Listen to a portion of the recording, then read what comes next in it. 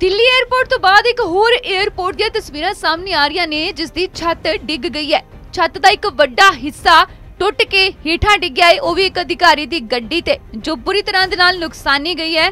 ਇੱਥੇ ਵੱਡੀ ਗੱਲ ਇਹ ਹੈ ਕਿ ਇਹ 에ਅਰਪੋਰਟ 3 ਮਹੀਨੇ ਪਹਿਲਾਂ ਹੀ ਸ਼ੁਰੂ ਕੀਤਾ ਗਿਆ ਸੀ। ਤਸਵੀਰਾਂ ਜਬਲਪੁਰ 에ਅਰਪੋਰਟ ਦੀਆਂ ਨੇ, ਜਿੱਥੇ ਬਰਸਾਤ ਹੋ ਰਹੀ ਹੈ ਤੇ ਬਰਸਾਤ ਤੋਂ ਬਾਅਦ 에ਅਰਪੋਰਟ ਦੀ ਛੱਤ ਦਾ ਇੱਕ ਵੱਡਾ ਹਿੱਸਾ ਹੀਠਾਂ ਆ ਕੇ ਡਿੱਗ ਜਾਂਦਾ ਹੈ। ਥੱਲੇ ਇੱਕ ਅਧਿਕਾਰੀ ਦੀ ਗੱਡੀ ਲੰਘ ਰਹੀ ਹੁੰਦੀ ਹੈ, ਜਿਸ ਦੇ ਉੱਤੇ ਜਾ ਕੇ ਇਹ ਛੱਜਾ ਡਿੱਗਦਾ ਹੈ। ਵੱਡਾ ਨੁਕਸਾਨ ਇੱਥੇ ਗੱਡੀ ਦਾ ਵੀ ਹੋਇਆ ਹੈ, ਅਧਿਕਾਰੀ ਵੀ ਜ਼ਖਮੀ ਹੈ। ਸੋ ਇਹ ਦੱਸ ਦਈਏ ਕਿ 3 ਮਹੀਨੇ ਪਹਿਲਾਂ ਹੀ ਇਸ 에ਅਰਪੋਰਟ ਦੀ ਸ਼ੁਰੂਆਤ ਕੀਤੀ ਗਈ ਸੀ, ਤਾਂ ਹੁਣ ਇਸ ਦੀ ਛੱਤ ਦੇ ਵਿੱਚੋਂ ਆਸਮਾਨ ਸਾਫ਼ ਨਜ਼ਰ ਆ ਰਿਹਾ ਹੈ।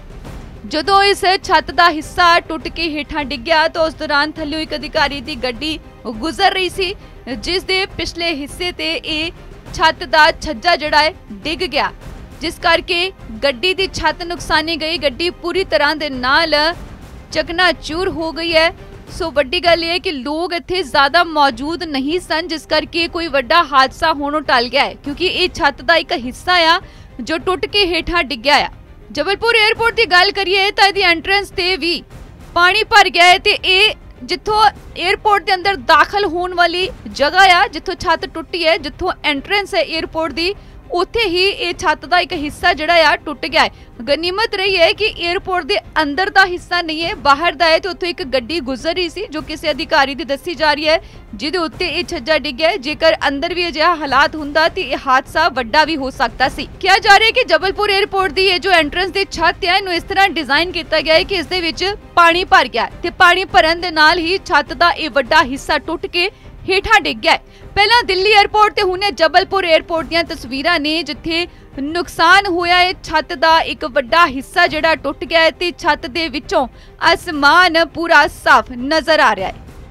ਦਿੱਲੀ 에ਅਰਪੋਰਟ ਤੋਂ ਬਾਅਦ ਇੱਕ ਹੋਰ 에ਅਰਪੋਰਟ ਦੀਆਂ ਤਸਵੀਰਾਂ ਸਾਹਮਣੇ ਆ ਰਹੀਆਂ ਨੇ, ਜਿਸ ਦੀ ਛੱਤ ਡਿੱਗ ਗਈ ਹੈ।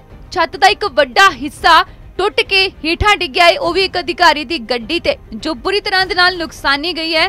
ਇੱਥੇ ਵੱਡੀ ਗੱਲ ਇਹ ਹੈ ਕਿ ਇਹ ਰਿਪੋਰਟ 3 ਮਹੀਨੇ ਪਹਿਲਾਂ ਹੀ ਸ਼ੁਰੂ ਕੀਤਾ ਗਿਆ ਸੀ।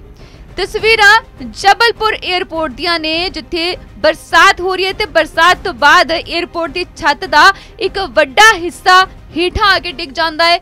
ਥੱਲੇ ਇੱਕ ਅਧਿਕਾਰੀ ਦੀ ਗੱਡੀ ਲੰਘ ਰਹੀ ਹੁੰਦੀ ਹੈ, ਜਿਸ ਦੇ ਉੱਤੇ ਜਾ ਕੇ ਇਹ ਛੱਜਾ ਡਿੱਗਦਾ ਹੈ। ਵੱਡਾ ਨੁਕਸਾਨ ਇੱਥੇ ਗੱਡੀ ਦਾ ਵੀ ਹੋਇਆ ਹੈ, ਅਧਿਕਾਰੀ ਵੀ ਜ਼ਖਮੀ ਹੈ। ਸੋ ਇਹ ਦੱਸ ਦਈਏ ਕਿ 3 ਮਹੀਨੇ ਪਹਿਲਾਂ ਹੀ ਇਸ 에ਅਰਪੋਰਟ ਦੀ ਸ਼ੁਰੂਆਤ ਕੀਤੀ ਗਈ ਸੀ, ਤਾਂ ਹੁਣ ਇਸ ਦੀ ਛੱਤ ਦੇ ਵਿੱਚੋਂ ਆਸਮਾਨ ਸਾਫ਼ ਨਜ਼ਰ ਆ ਰਿਹਾ ਹੈ। ਜਦੋਂ ਇਸ ਛੱਤ ਦਾ ਹਿੱਸਾ ਟੁੱਟ ਕੇ ਹੇਠਾਂ ਡਿੱਗਿਆ ਤਾਂ ਉਸ ਦੌਰਾਨ ਥੱਲੇ ਇੱਕ ਅਧਿਕਾਰੀ ਦੀ ਗੱਡੀ ਗੁਜ਼ਰ ਰਹੀ ਸੀ, ਜਿਸ ਦੇ ਪਿਛਲੇ ਹਿੱਸੇ ਤੇ ਇਹ ਛੱਤ ਦਾ ਛੱਜਾ ਜਿਹੜਾ ਹੈ, ਡਿੱਗ ਗਿਆ। ਜਿਸ ਕਰਕੇ ਗੱਡੀ ਦੀ ਛੱਤ ਨੁਕਸਾਨੀ ਗਈ, ਗੱਡੀ ਪੂਰੀ ਤਰ੍ਹਾਂ ਦੇ ਨਾਲ ਚਕਨਾਚੂਰ ਹੋ ਗਈ ਹੈ। ਸੋ ਵੱਡੀ ਗੱਲ ਇਹ ਕਿ ਲੋਕ ਇੱਥੇ ਜ਼ਿਆਦਾ ਮੌਜੂਦ ਨਹੀਂ ਸਨ, ਜਿਸ ਕਰਕੇ ਕੋਈ ਵੱਡਾ ਹਾਦਸਾ ਹੋਣੋਂ ਟਲ ਗਿਆ ਹੈ, ਕਿਉਂਕਿ ਇਹ ਛੱਤ ਦਾ ਇੱਕ ਹਿੱਸਾ ਆ, ਜੋ ਟੁੱਟ ਕੇ ਹੇਠਾਂ ਡਿੱਗਿਆ ਆ। ਜਬਲਪੁਰ 에ਅਰਪੋਰਟ ਦੀ ਗੱਲ ਕਰੀਏ ਤਾਂ ਇਹਦੀ ਐਂਟਰੈਂਸ ਤੇ ਵੀ ਪਾਣੀ ਭਰ ਗਿਆ ਹੈ ਤੇ ਇਹ ਜਿੱਥੋਂ 에ਅਰਪੋਰਟ ਦੇ ਅੰਦਰ ਦਾਖਲ ਹੋਣ ਵਾਲੀ ਜਗ੍ਹਾ ਆ, ਜਿੱਥੋਂ ਛੱਤ ਟੁੱਟੀ ਹੈ, ਜਿੱਥੋਂ ਐਂਟਰੈਂਸ ਹੈ 에ਅਰਪੋਰਟ ਦੀ ਉੱਥੇ ਹੀ ਇਹ ਛੱਤ ਦਾ ਇੱਕ ਹਿੱਸਾ ਜਿਹੜਾ ਆ ਟੁੱਟ ਗਿਆ ਹੈ।